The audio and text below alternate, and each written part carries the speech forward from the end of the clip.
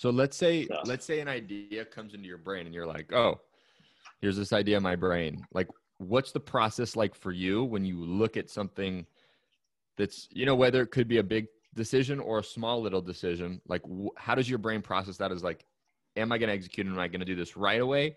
Am I going to delegate this? Am I going to just say I'm not going to do this at all? Am I going to do it later? Like what would that process be like? Cuz I know just recently for example, um, you guys did some stuff with the kids vitamins right? So it's like that idea comes yeah. into your, your mind. Like what was the process like for that i guess? Or you know just anything in your life. Uh, so I, I think it's important to have a system. There's a great book called getting things done that i read probably 10 years ago. Hmm. um, it gives you a system that you can apply to um, whatever piece of technology you have, right? Like I use iNotes because I'm a, I'm a Mac guy, it's, so I can take notes on my cell phone. It just updates on my iPad, right. my, my Mac, my MacBook. So I have a system in place, my to-do list, my short-term goals, my long-term goals, books I want to read, movies I want to watch, and um, great ideas, right? Like book ideas, story ideas, business ideas.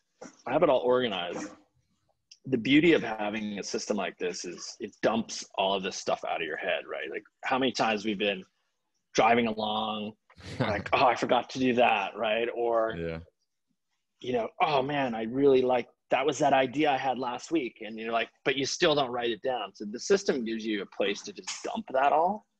Um, and then later on, I, you know, I review it once a week and go, okay, you know what? That's a really good idea. I want to kind of shortlist that. Um, so first, it, it it really helps by just getting it all out of your head and giving you the yeah. comfort. And it's a de-stressor. It's like to know that you've captured it, whether it's something For you need sure. to do, a, a, thank you letter you need to send. Um, so it's a big de-stressor for me. Um, but then you can kind of at least put it into a system. And then the next thing um, that I do is I look at, and this is something that I worked on 10 years ago. I wrote a book called Total Focus because when I got out of the military, um, I was one of the few SEALs that kind of got out mid career. And so I had a ton of opportunity open to me, you know, being a, like a marketable SEAL out of, you know, fresh out of the Navy. I had tons of opportunity, defense industry, startups, you name it. And it was like, what do I focus on? Right. And I was a yeah. mess. And so what I also I would say is having develop a vision for your life, right? And think short, medium, long term. Um, there's many ways to do this, right? It's to think about your obituary when you're you're dead and gone. Right. Like, what do you want people to remember you about, or what do you, um, you know, what do you want to accomplish in life? And so once you once you kind of set that vision, it's like it's like my dad saying, "Hey, we're going to sail around the world, but first goal is get to Australia." Hmm. So you plotted that that destination, and um, in this case, it's your like life destination, and then as these opportunities come up, do the opportunities kind of support me getting to what I want to do? Yeah. Or getting to the destination, right? And it becomes once you do the hard work there, then it becomes very easy what's a what's a distracting opportunity and what's kind of a supporting opportunity. Um, and, and, look i am every year i i, I spend a couple days by myself um, and, and, do like a retreat by myself to figure out mm-hmm. what my next kind of short medium long term plans are. And it changes it changes. Life happens people die relatives die friends die. Um, you know, no one gets out unscathed. I, I got yeah. news for you. Um, yeah. And so, um, think, you know, look, COVID happened to us all, right? I was running a much larger business. I had a subscription box business. Um, I had had some really challenge, challenging issues with growth, like high growth, not a good team in place, and was dealing with that. Then COVID hit, and uh, I saw our supply chain get blown up overnight. So I ended up selling the company. Um, I retained the media business, and I'm kind of like rebuilding the media company now. Um, and then was thinking, okay, what do I do next, right? And so now I'm I'm going away to figure out, um, right. you know, really what I want to do long term. I knew that I wanted to take an opportunity to go on offense as quickly as possible, having got that business sold to a competitor. Okay, how do when everyone is in defense, how do I be offense right now? And then we decided to do kids vitamins and and launched uh, Tiger gummies officially last month uh, because we saw opportunity in health and wellness and a, and a kind of to distill it further saw an opportunity in, in children's vitamins where it was yeah.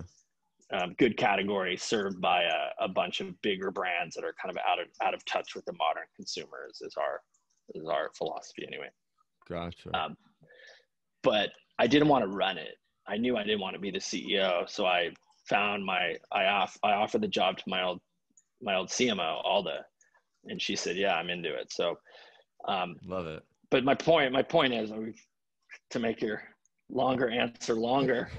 Um, you know, you've got to you've got to have that that plan and know that it may change. You know, you may get married, you may have kids, um, you may sell a business, you may find another opportunity, but you always the one kind of constant is you have to have that strategy in place and that plan because that to me that really um, creates that kind of true north for your vision and so when you see an opportunity uh, for example i had uh, a couple years ago i had somebody come to me and said hey i'm, I'm building a nationwide chain of shooting ranges and I want you to be involved. I'm going to make you a partner and this and that. I'm like, that's like totally opposite direction yeah. of what I'm doing right now.